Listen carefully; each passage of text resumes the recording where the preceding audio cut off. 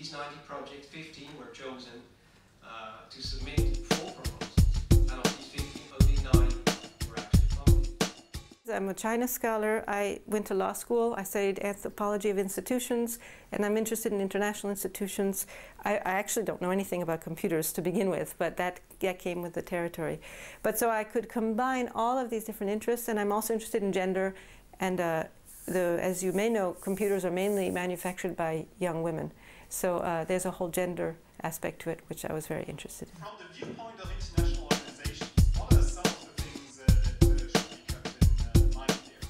I got interested in this project by being involved in a meeting at the ILO, International Labour Organization, where it was a question of what are the conditions for working people in China mainly uh, in the computer industry. And uh, it's clear that Chinese law doesn't apply very well.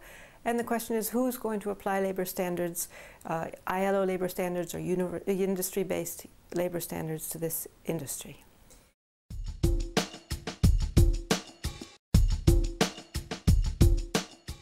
Everybody is interested in evaluating uh, corporate social responsibility uh, uh, instruments because there's a lot of skepticism, even among those who are doing it, about whether this is the correct way to uh, go about regulating labor.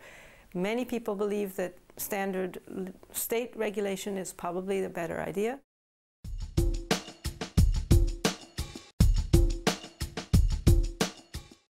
People we're dealing with, especially in international organizations, but also in, in NGO networks, are extremely sophisticated and they, it's not, they don't lack knowledge. We are not providing necessarily knowledge that they don't have.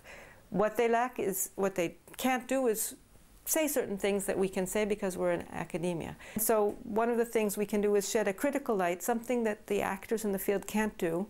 And that's one of the things academics can continue to do is shed a critical light on these instruments and say, well, maybe this isn't working, and maybe you should shift back to other modes of regulations.